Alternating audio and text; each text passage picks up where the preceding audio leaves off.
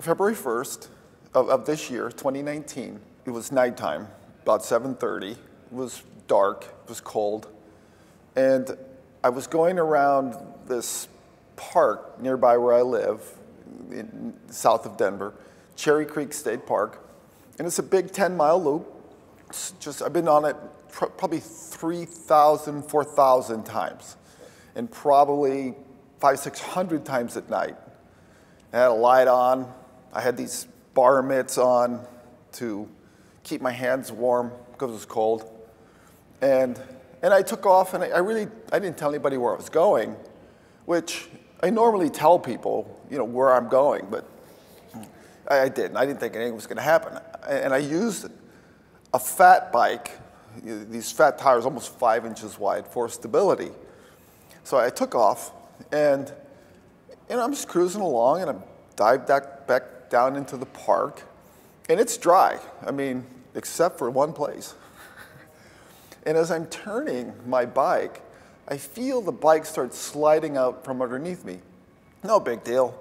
I grab the rear brake, which usually, you know, puts me back into stability. And then the front tire went off, and the front tire hit a log, and it immediately stopped the bike. And I'm on there, and I can't brace myself. So I land on top of my head. I have a helmet on. I land on top of my head, and with my body weight in the bike, and I hear a snap in my neck. And I knew I broke my neck. And then everything went out. It was empty space. Like there was, it was devoid of even color. It was devoid of black. It was, it was empty. I mean, it was just an interesting moment. And then everything is bright light white, golden white light. It's, and it's a little iridescent blues. And it was a great experience. And I'm just thinking, and I am so happy. I'm just blissed out. This, it, I feel bliss, I feel ease. There's no burden in this place.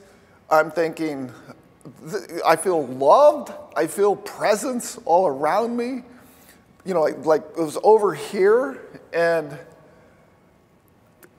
it, and, and I'm thinking, okay, um, this is kind of this is a great experience. I'm enjoying myself. I feel no pain at all, and I see in the distance this little boy.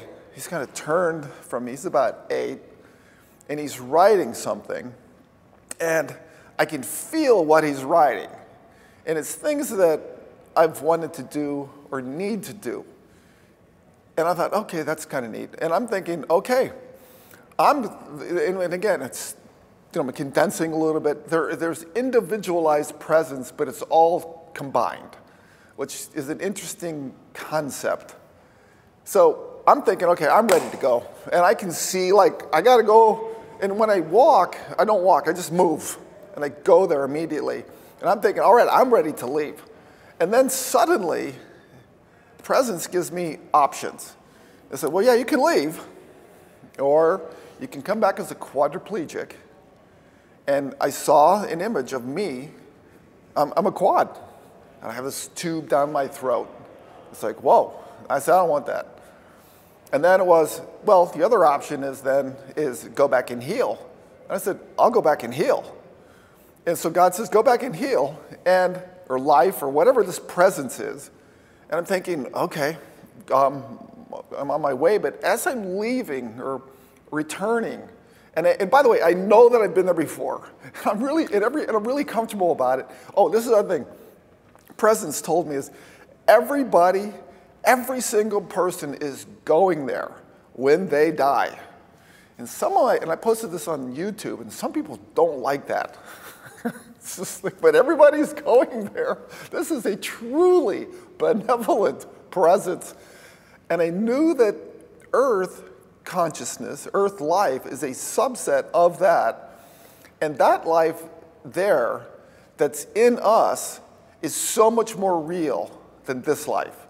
I mean, it's like, I can't even, I can't even describe it. It's just like, this is, I mean, this is real too, as real as consciousness is real, but this is, everything's just you know, everybody, everything, every atom. I don't even think there were atoms in it though. It just was weird. I, you know, I didn't measure anything, but it didn't feel like anything was separate from anything else. It was just beautiful white light that made everything. So I return, and, and I've got my eyes closed, and all of a sudden I'm laying on my left side because I, la- I landed in a crumple. And I, and I recalled that I broke my neck. So I thought, okay, well, we'll wiggle your toes because I don't want to cause any more damage to myself if, you know, I damaged my spinal cord. So I wiggled my toes. Oh, that's good. So I sat up and I crossed my legs, and somehow I found my cell phone. And it has this quad lock on it. It's very difficult to get off when I'm lucid. So somehow I got it off, and I called 911, and I don't remember talking to them. I don't. My, you know, so then I called my then girlfriend. It, her phone was off. She was at an event. Talked to my brother, and I said, "Hey, Sam," or whatever I told him, because I, I don't remember what I told him. And I told him what happened. I told him I broke my neck. I told him in Cherry, Cherry Creek State Park, I need you to come get me. And then I hung up, and then I called my then girlfriend again, and her phone's still off because you know, she's busy. I called my brother back. I go, hey, Sam, I broke my neck. this is what he told me. so, you know, he doesn't say anything. He doesn't, he's just listening to me. So he calls his sons, my nephews, to go, because we're not too far away from where I was, or they weren't too far away. And, and then after I hang up, I put my elbows into my knees and just held onto my head to make a makeshift halo so I wouldn't move my neck. Because I'm certain I broke it. And then at some point, I don't know, like 15 minutes or so, the paramedics show up, and all I just see is lights. And then all of a sudden, you know, putting this thing on my neck, and then they're sticking me in the ambulance. And I'm not a person who usually says anything if I'm uncomfortable. And I said, and there were a couple of guys, probably in their 30s. I go, hey guys, I broke my neck. You have to be more careful with me. and, you know, so, and they were. We take off to this nondescript medical center of Aurora to, for surgery. And I've driven past this thing thousands. I've never seen it before. This is not well known. And they, you know, they, they, they prepped me. And, and they, they, again, and I also had a concussion. So this stuff, I don't really remember what happened there. I just remember they had to form a team so that the next morning, Saturday morning, they would um, do the surgery. They took the x-rays, they, they did the surgery. It was eight and a half hours long. It was called an internal decapitation my head literally came off my spine. They ran a couple titanium rods. Well, well, C1, C1 blew up. I mean, it shattered in a bunch of pieces. They couldn't even put it back together.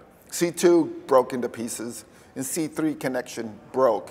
And they had to put some kind of glue, and they stuck screws through the titanium rods into my spine, and then they stuck a plate onto the back of my head and screwed that on. So my head would literally stay on my spine. The pieces, there were pieces of the, uh, of the uh, spine that were too close to the cord where they just left it in. And that's kind of important because the next day, it's now Sunday, and I'm, I said to them, I said, look, I, I want to walk. And they said, What? I go, Yeah, I want to walk around. I want to get some exercise. I want to move. I'm tired of laying here. So they called the doctor. And they said, Okay, if he wants to walk, let him walk. And I mean, I walked for 10, 15 minutes just walking, and I felt absolutely fine. The next day, I said, I want to leave. And they said, You're on morphine. This was, he said, Well, I said, Then um, get me on the pills right now so I can leave. And they put me on the pills, and then the next day, that would have been Tuesday morning, I left, and I was back together, working the next day. I mean, they put me on pain meds. And by the way, I am doing this meditation. I am, in fact, before I had the surgery, they said we're thinking about surgery. I contemplated whether getting surgery or not. I asked my body, hey, body, do you need this? Oh, yeah. The body said, oh, yeah, you need surgery. So I, then I went ahead with it. So there I am, and, I, and I'm practicing. I'm practicing these meditations, and all, you know, as much as, as much as I can. What kind of meditations? Well, I've been meditating off and on for 40 years. So it's kind of like a, basically, I have this one love meditation. And, and love's not like I love you, love, but love that bonds and heals everything. That's my setup. And then I did Dr. Joe's, you know, squeezing the, you know, the, the, the energy centers to because it makes so much sense. It's such a, it's, it's, a great idea. Just squeeze it all up, stick it up there in the top part of your body, let your body respond. And I, I did that, and I did it lovingly. Five days after surgery, I got off all the pain meds, and then like the prescription pain meds, and then I went on to I don't know one of the over-counter ones, and within five days I was done. I mean, I had no pain, I had nothing, and so I'm going to one of the checkups. And the doctor told me, well, he said this in the hospital. The doctor said, hey, look, when you blew up your C1, you have these little rings which these vertebral arteries pass through that you nourish our brains. He said, well, it's blocked. It's just closed up. He said, but you have two, so you have a spare, so you get to, you know, you're fine. And I looked at him and I said, I'm going to do this spiritual meditation prayer thing. I said, so I said, is it better if it's open? And he said, well, he said, look, you know, it's closed. You have two. I said, no, I understand that. I said, but is it better if it's open? He said, well, look, it's blocked right now. And if you, he said, if a piece breaks off there and it goes to your brain, you will have a stroke and die. I said, I know. I said, but is it better if it's open? He said, well, yeah, of course it's better if it's open. I said, well, I'm going to do this this thing. And I told him about becoming supernatural. I told him I learned this technique. I got it out of the book and was practicing it. And that's what I was planning on doing, which I did. And it was called a CTA scan. And then they, they, some months later, four months maybe, they do another CTA scan. And he says to me, he said to me, oh, by the way, and I was also on 325 milligrams of aspirin. That was just to keep everything flowing in my body and not have pieces breaking off and maybe potentially die. So at the four month checkup, he, the x ray showed, I gotta tell you something really funny. You, you can take this out. The x ray tech, who's about 45, she's really nice lady, and have fun rapport with her. She's teaching this younger woman, about 30, how to do x rays. And they got me lined up, and I'm, you know, I'm in there, and she said, she said, you know, I've never taken a picture of C1 before. I laughed at it. I go, yeah, it's because they're dead. Because the odds are so, no one, no, no one that I know of who's had that kind of accident survives. You just, in C2, you die. C3, you die. And I didn't die. And I know why I didn't die. And, and that's something the little boy was writing.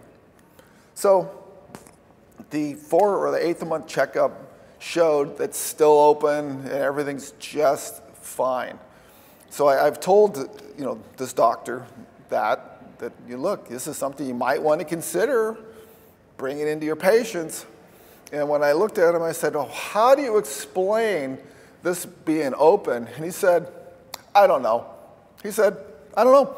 He said, "Sometimes we doctors just take our hands off you patients and you heal, and we don't know why." And what Dr. Joe is teaching is so simple. I mean, it's so, it's so simple. It seems like that can't work, but it really does, really does something. It really does have a healing effect in it, as does the power of love, which I, I believe in too.